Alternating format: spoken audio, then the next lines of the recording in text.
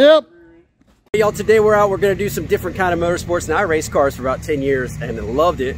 But, you know, for kids, kids are getting older. It's a lot of time and effort to maintain the cars and get them ready for the next race. So, sold the race cars, uh, but got into off-roading a little bit because it's lightweight. I mean, it's easy. You come up, you have fun for the day, uh, and then you, you know, you head back and hopefully nothing breaks. I got the Toyota back here. Well, it's a Lexus, but it's a Toyota platform. Very capable off-road car. You see these, I think it's called the Prado 110 chassis, and you see a lot of overlanding videos. But today we're gonna show you an off-roading video, not like little dirt roads. We're gonna see what this thing can do. We're gonna push it a little bit. We're gonna try and get it stuck. I wanna show you all a little bit just how capable this vehicle is off-road. Now this one's pretty simple. I've got some all-terrain Falken tires on it, uh, 33 inch tires about. I've got a three inch lift up front, two and a half in the back with the Eibach. You can see we got the car buried down pretty good in this hole and we're just gonna see how it got some pretty good tuck. Okay, my daughter just fell out of the vehicle there. Uh, I think you're getting everything out of your suspension right. Yeah, I think we got her maxed out. The back tire's up about, we're about six inches up in the air here. Got it rocking pretty good. So here, Landon, let's see if it'll Did pull. I come loose on this at all? Or was I on? You you looked like you were on the highway. All right, right here, stand right here, and let's see if we can get it to pull up out of this. I think you have maxed out your suspension.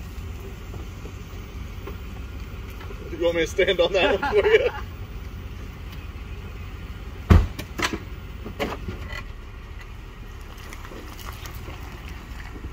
Left, left. There you go. There you go. Hey, you're gonna have to take that trailer hitch off.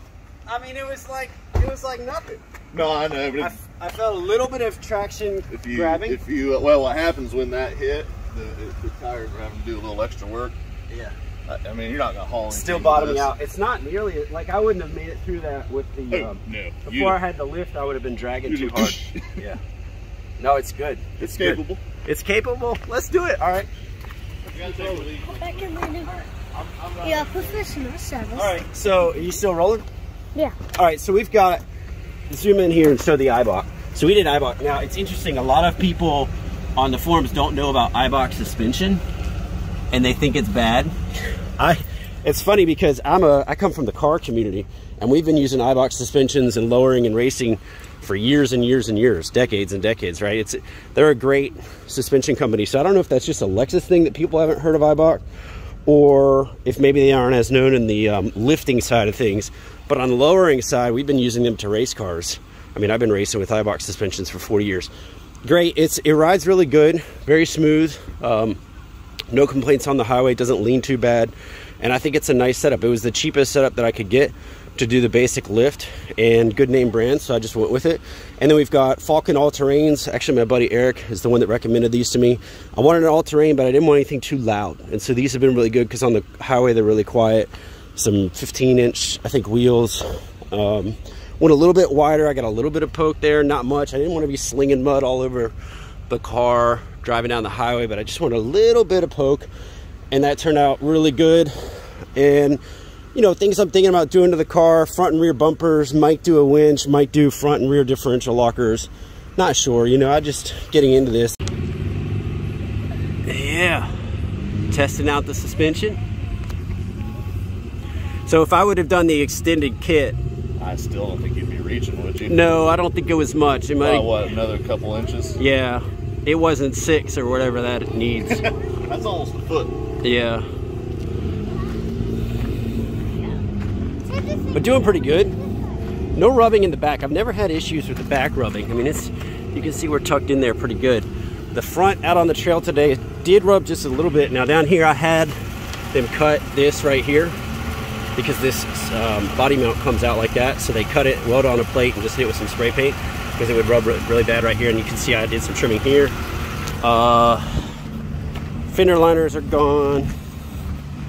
Had to do some trimming on this side here. Did you hammer in those pinch welds or like that? Yeah, the pinch welds got hammered in also. Overall. Just need better bumpers. Some control arms. 230,000 miles on it, still going good. Still going good.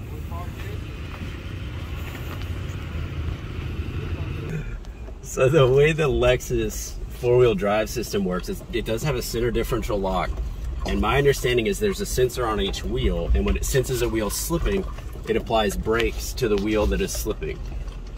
And so all that power that would have been going to the tire that's up in the air or that doesn't have any traction, it gets held in place.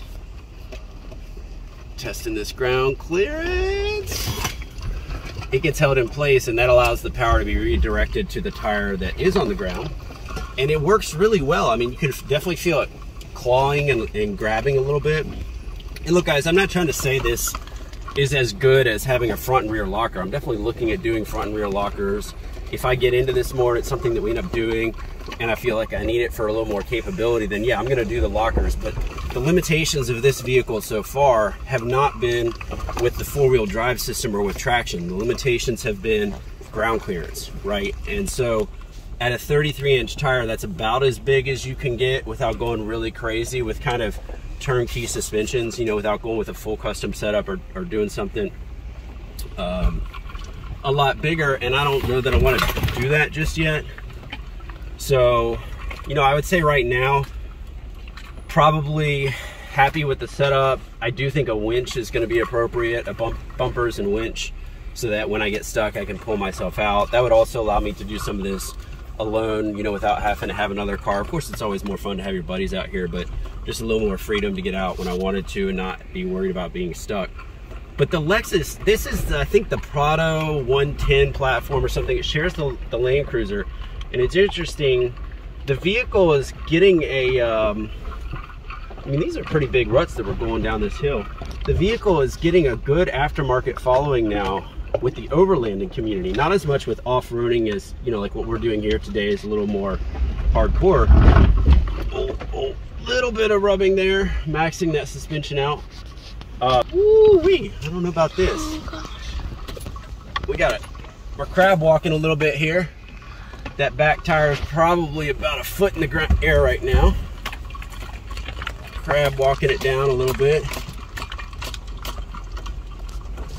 Um, but they're they're very well maintained vehicles by a lot of people. Oh, look at all of his lights on. That looks so sick. And um, and they're very capable. These were designed as off-road vehicles. Again, sharing a lot of parts with the Land Cruiser, which is a very well-known off-road vehicle. And it's just they've never been used this way, right? Most people just drive them on the street. So we just came down this hill and we were talking about the suspension flexing and how it was doing great. Now let's see if we can make it back up. It's unfortunate because video does not show the steepness, right? It doesn't show just how steep this is. Um, right down here, not too bad, but as we get up, you can see my buddy there, his Jeep is flexing. So just so you know what we're out here riding with, he has 37 inch tires, I don't know, three or four inch lift, five inch lift. He's got a huge lift, front and rear lockers, center locker, everything can lock. Um, winch, bumpers. I mean, he has a very, very capable rig. And you can see he's stretching his suspension out. Let's see how we can do if we can get up through this. Again, I think our limitation is gonna be ground clearance, not traction. You hear that, that four-wheel drive system kicking in you'll feel a tire start to slip and then it'll it'll just stop slipping magically it's pretty cool and i think there you go you hear that i think what's happening is it's it's applying brake to the tire that's slipping which redirects power to the other wheel. And i mean it's it's working really really well. I'm impressed. Um, the three inches of lift two and a half or three inches whatever we did You'll have to look up the Eibach suspension online, but it made a huge difference because I don't think we could have made it through this before. I did off-road this vehicle a little bit previously, and I don't think we would have made it up this simply because the, um, ooh, it's kicking and clawing. The um, trailer hitch drags, you know, you start dragging the differential, and as soon as you bottom out, you've basically dropped an anchor. I mean, it doesn't really matter how much traction you have. When you've bottomed out, you're done. But man, this thing is just pulling up through this. Like I, I would say we're at 60 or 70% of the vehicle's capacity right now. Pretty impressive. It's not struggling coming up this hill. And this is a pretty serious grade that we're climbing in deep ruts. No issues. Now, it's tough because off-roading, you think you're at 60 or 70% and you seem to go from that straight to stuck pretty fast. But at least so far, no issues. We've got a pretty steep little ledge right here. Let's see how we do. Climbing this. Yeah. I mean, really, guys, nothing. No, no sweat off my back yet. The lift was huge for ground clearance. Without that, I do not think we'd be coming up through this. I think we would have been stuck.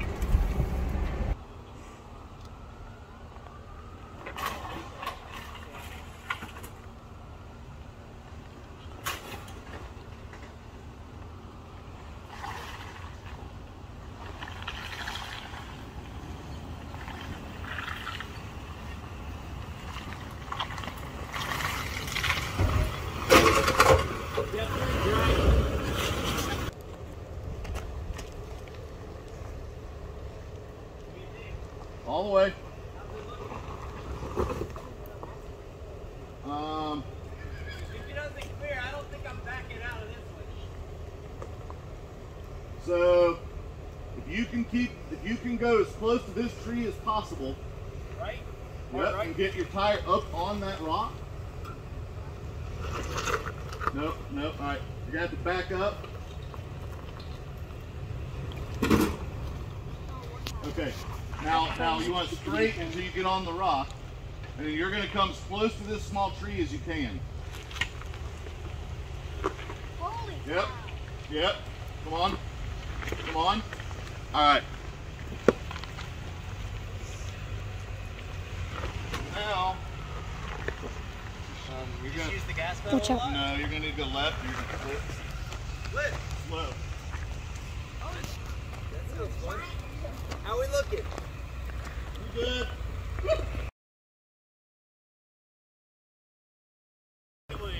You're good? Hard left. Yep. You good? the trailer hit. I'm dragging the mountain down the hill. here. Hard left, hard left. Holy.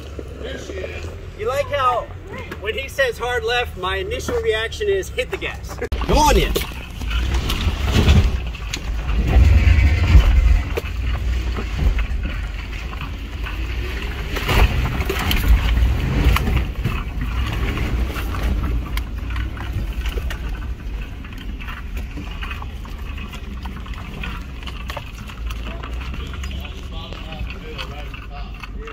Nothing a heavy right foot can't get through. I'm I'm fortunate I've got really good factory skid plates.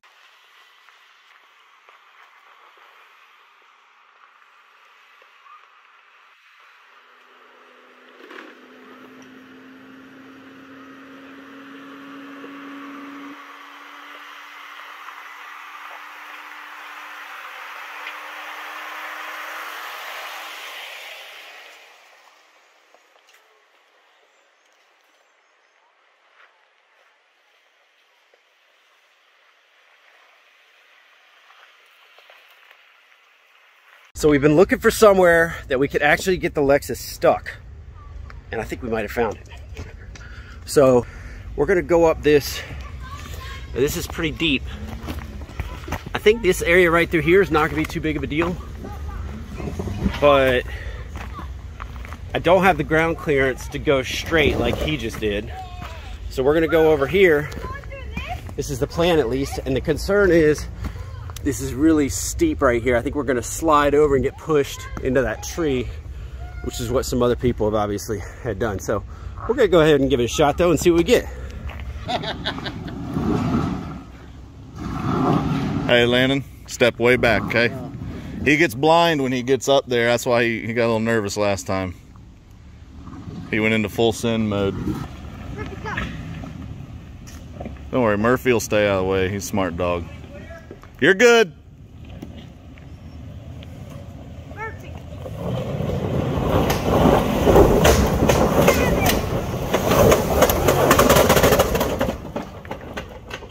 Now it's broken. Yeah, it sounded like a rear. Don't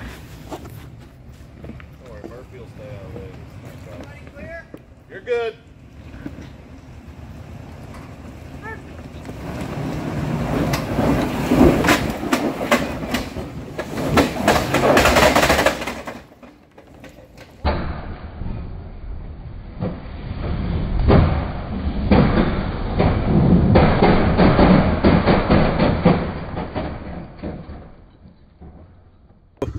So here's the obligatory sad video after being all happy about doing great all day. Uh, something broke. Then is very, very much broken in the back of the Lexus. Now, in its defense, it did pull up through that twice. It pulled up through that twice. But um, yeah, when I try to drive in the back end, it just goes clunk, clunk, clunk, clunk, and there's no movement. And the Jeep, for the second time, the front um, locker is permanently locked. It will not unlock. So we have came up with two vehicles and we're going home with zero vehicles and we're gonna need two flatbeds out of here. We're just gonna hook up a strap. He's gonna tow me out, I'll throw it in neutral, roll it out of here, get it back up to the front, find some people that have tools. I'll show you this hill that fit. I did this twice and I mean the camera, it's it's a lot deeper, I can trust you. Trust me, a lot deeper than it looks. Also took on, You also blew a bead here. Also took on Look at the mud jammed up in there. some uh, some little dent action here. This close to losing air in that tire. Lost a little dent action up top. this point, I guess. Yeah, we took some hits. And what do you say? We got a flat? We're going flat up front. No, I don't think you're going flat, but you see where the bead. Oh, You came real close to that coming on. from the dirt getting in there. Yeah, It held it held. barely. Good thing I only aired down to 20 instead of 15. All right, so we're gonna get it. We're gonna get it out of here. Yeah, it's it's painful sounding pulling this thing out of here, uh, but you know we'll get it out. We'll get it sorted out. We'll probably end up doing a locker in the back since we're gonna get into the rear end and sort this out anyway. Eventually, these gears will strip out completely and actually won't sound as bad being pulled out here. But so far, no issues. My buddies, uh, you know, we got me hooked up here to the strap, pulling me out. Oh, we'll get it on a trailer, trailer to my house, let it sit and think about what I want to do the vehicle long term. You know, do I want to keep it? Do I want to go crazy with it? Um, just do a locker in the back and get things sorted back out so we can drive it again. I'm just gonna take maybe a week or two. We're going out of town anyway and sort that out. Um, so yeah, bummer, but you know, this is motorsports. The downside here is that Oh, see if he can pull me up out of this hole. The downside here is that no problems, no problems. You know, I'm used to cars and stuff breaking, uh, but normally I'm racing cars and I've got my trailer and I got my tools and when stuff breaks, you throw the car back on the trailer and you go home. You know, today for some reason I didn't trailer this up, kind of new to off-roading and just getting into this, but definitely should have. Lesson learned.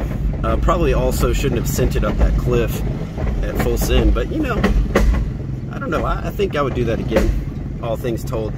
Hope you guys like this video. In summary, all of the video, I wanted to tell you how capable the Lexus GX 470 is, how awesome it is off-road, and it is, as long as you're not really stupid with it, which I think is the category that I fell into, and then it broke. So, you know, lesson learned. Very capable vehicle. I would not hesitate to take it off-road and play around with Jeep clubs, but when you see something that your brain just kind of says, I don't know if that one's for me, maybe listen. Maybe listen, unlike me. All right, thanks guys. Hope you enjoyed this video. Uh, I'll, I'll catch up with you next time.